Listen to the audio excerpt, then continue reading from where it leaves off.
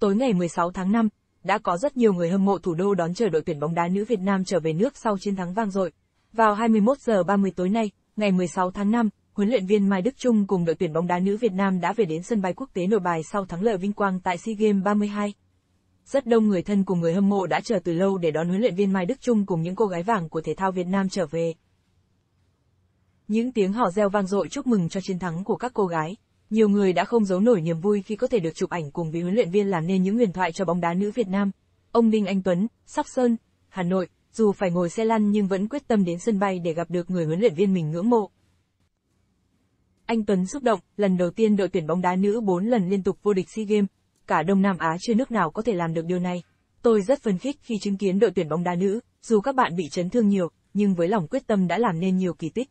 Hôm nay tôi ở đây để đợi huấn luyện viên Trung cùng các cầu thủ trở về nước sau một hành trình dài giành huy chương vàng. Bó hoa này thay lời cảm ơn của tôi gửi đến huấn luyện viên. Quả thực đây là một kỳ SEA Games quá tuyệt vời và mang lại nhiều cảm xúc nhất đối với tôi.